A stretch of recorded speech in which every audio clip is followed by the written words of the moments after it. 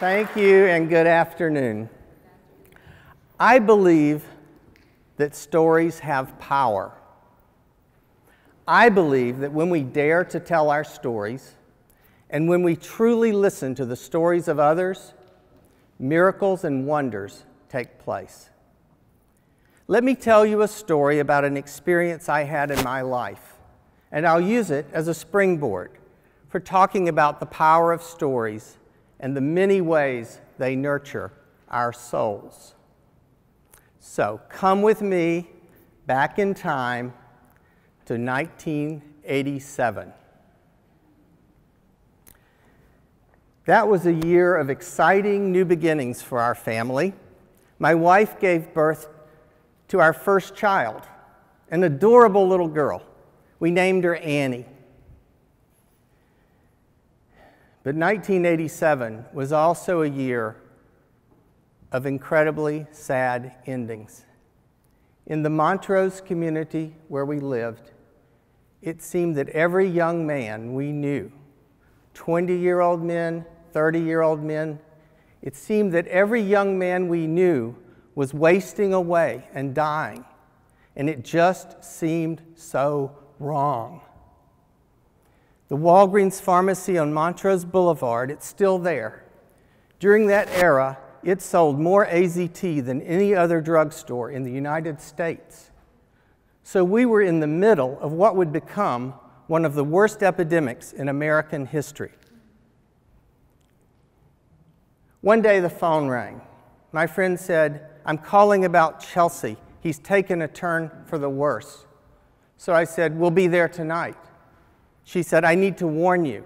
Something has happened with his, with his mind he won't even recognize who you are. And then she said, It's really bad. He was so looking forward to meeting your baby. Then she said, I need to warn you of something else. And she leaned into the phone and whispered and said, His mother, she's here. I said, That's a good thing, right? She's finally here. My friend said, Is it? Imagine you're on your deathbed and your own mother won't even touch you. I said, I cannot imagine that. We just had this baby. That's all we want to do is to touch her and to hold her.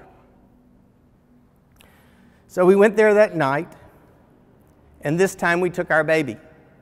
And it was just as my friend had said. Chelsea was lying on his back on a hospital bed in the middle of his living room where the hospice volunteers had placed it. And his mother was in the room, technically, but she was in the corner of the room, as far from her son as she could possibly be and still be in the room. She was sitting on a folding chair. The chair wasn't even facing her son, it was turned sideways. And as for Chelsea, my friend was right about that too. He did not recognize us.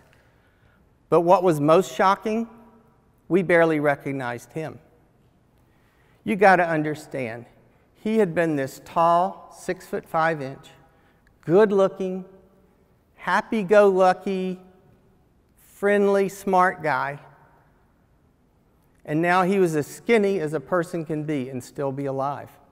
He was spiking a fever they had taken off his shirt. You could see every bone.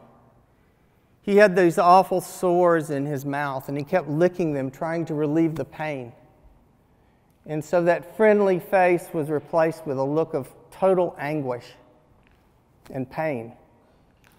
His breathing, every breath was a struggle, and you wondered if it might be the last.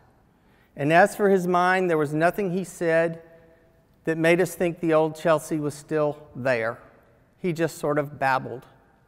So we gave up trying to talk with him, and we stood around the bed and talked over him to each other. After a while, though, he started doing this one thing that made us think, well, maybe something of the old Chelsea is still there. He would glance over at our baby. He was too weak to turn his body, but he would look at her, and then he would jerk his eye back. And then he'd jerk it over again and jerk it back. He was flirting with our baby. that was so much more interesting than whatever we were talking about. So we quit our conversation and we watched him watch our baby. And then I remember we wondered what his mom thought of all that. She didn't even see it, she was just staring at the floor. At that point, my wife and I made a decision. We took our baby and we laid her face down on Chelsea's chest. Her face fit perfectly in the nape of his long neck. Her little arms dangled around his bony ribs. And we stood closely by because we weren't sure what would happen. And actually, the first thing that happened was kind of scary. His arms started doing this. He was having a spasm. He was trying to remember how to use them again. But then he gradually got control, and those long scarecrow arms started coming up. And they went up and up. And then they formed an arch over our baby. And then his arms relaxed down around our baby. And as his arms relaxed, his breathing relaxed, and that anguished look on his face was replaced with one of perfect contentment. And I've often said if that's all that had happened that night, it would still be one of the most memorable moments of my life. But one more thing happened. Chelsea spoke, and this time his words made sense. Annie came to see me, Annie, and he smiled. We went home that night, we went to bed. I woke up in the middle of the night with this jolt of energy. I couldn't get back to sleep. Went downstairs and piddled around, and then I went on the back steps and sat there with our dog. The sun came up and the phone rang. I ran inside. It was the same friend who had called from the day before. She said, I wanted to call you earlier, but I didn't want to wake you, which was kind of funny since I'd been up most of the night. But she said, I called to let you know that he died. At 4 a.m., Chelsea died. Now, I've had 30 years to think about this, and I don't think I'll ever understand how a man with advanced dementia awakens and has a moment of perfect clarity and full humanity just hours before he dies. But I know what I believe.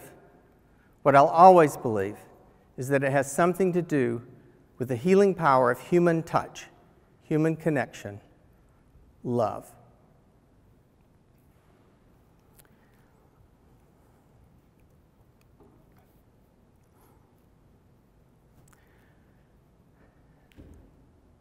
I spent most of my adult life in a place where, at least until recently, it was taboo to do what I just did. In academic medicine, we don't tell stories. We give PowerPoint lectures and we write scientific papers. And those are good things. But at some point in my career and in my life, I realized something vital was missing. When I took a closer look at those lectures and papers, I saw some good things and some not so good things. On the good side, they were logical and objective and data driven. On the not so good side, they were logical and objective and data driven. And by that point, I realized life doesn't always reduce to numbers and data. It's personalities and emotions and surprises. It's uh, sunsets and friendships and falling in love. It's the joy of a baby's birth and the pain of a friend's death. I also realized that life doesn't always divide up into neat categories. In academia, if they studied Chelsea's case, there might be a section in the epidemiology textbook about part of the story, another section in the psychology textbook about another part, and so on sociology, maybe ethics, maybe even theology. But that wouldn't be Chelsea or his story, that would just be an abstraction. When we experience life in real time, it's all those things at once. In real time, life is messy and unpredictable, and it's wondrous and amazing. So, how did a data driven scientist become an emotion fueled storyteller? And how might my journey be relevant for you? One day, about 10 years ago, my daughter downloaded to my cell phone a podcast, something she thought I'd enjoy listening to. By the way, this is the same daughter, Annie, you met in my story. She was much older by now, and so was I. The podcast was called The Moth, and it featured true personal stories. I found the stories to be absolutely riveting. I was immediately hooked. The moth became a narrative yin to my academic yang. At first, I was like those people who watch church on TV. You know those people? I, I kept a safe distance. But then one day on KUHF, I heard an announcement that The Moth was coming to Houston. Not the podcast, but a live storytelling program. With the encouragement of friends, I decided not only to go, but to stand up in front of 500 people and tell my story. I still remember walking out on the stage. I was met by this blinding spotlight. I felt disoriented. I began to panic. But as my story unfolded, my eyes adjusted, and I noticed a man in the audience whose body language told me that somehow my story was also his story. We were strangers, but by the end of my story, I felt we had become friends. After the show, he came up to me along with a couple others, and we really and they told me their stories, and we really did become friends. In that moment, I experienced the magic of what stories can do. They can bring people together into friendships and communities. They can encourage and comfort and heal. They can teach us about everything from our values to our relationships to the meaning and purpose of our lives. I had gone to the moth that night expecting the storytelling to be entertainment, and it was. But it was so much more. Then came the next morning. I got up early to go to work at MD Anderson. I had a 7 a.m. meeting. I was still bubbling with excitement from the night before. And as I walked into the room, I started to tell my colleagues about it. And then I caught myself. This voice inside my head was booming. You can't talk about that touchy feely stuff here. Where's your data? Would you believe I got that data? It happened by accident, really. The University of Texas system launched an initiative to reduce burnout among faculty physicians. They asked me to review the literature to see what solution, uh, evidence-based solutions might be out there. At the time, there were only two or three solid interventional studies involving physicians. But one of them, to my shock and pleasant surprise, involved a uh, forming a storytelling group among physicians. Now, to be honest, that's not what the authors of the study called it. I think they called it an intervention group. but that's exactly what it was. They got the physicians together in small groups every other week, and over a meal, they discussed their work experiences. They told their work stories.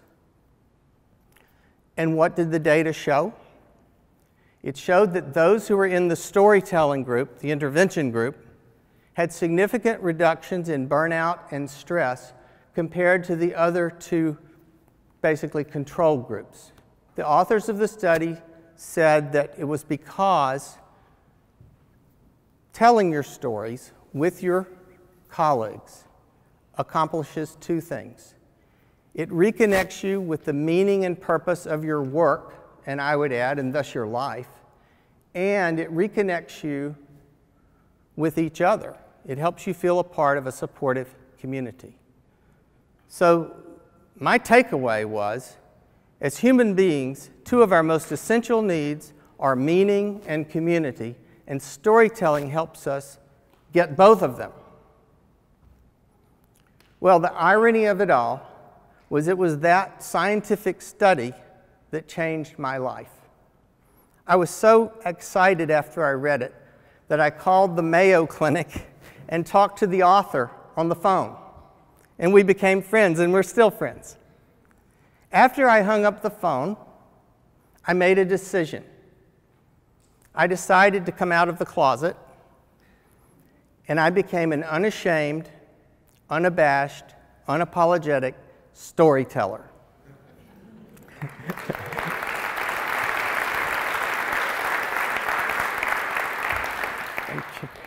I started telling my stories to anybody who would listen. And I also started taking the time to listen to the stories of others. I even started co hosting a radio show where we do this live on the air. My only regret is that I took so long to start doing it. That story about Chelsea, that goes back to 1987. I kept that story bottled up inside of me for nearly 30 years. Why? Don't be like me. Don't wait until you're 60 years old to give yourself permission to start telling your stories. It doesn't have to be on a stage in front of people, a group, big group of people, or a, with a spotlight in your eye. In fact, it works a whole lot better in natural settings. A hallway at work, over beer after work, at a dog park, over around the dinner table. The important thing is this. When you dare to tell your stories, tell them with honesty and vulnerability. And if someone wants you to listen to their story, don't just stand there. Listen with full presence and empathy. Remember, it's not just our stories we're sh- sharing, it's our lives. If you dare to tell your stories, to share them with your friends, I promise you, you'll receive the same rewards my wife and I received when we shared our baby with our friend. Three things you'll see miracles and wonders, you'll build your community, and you'll give your souls the nourishment they crave. Thank you.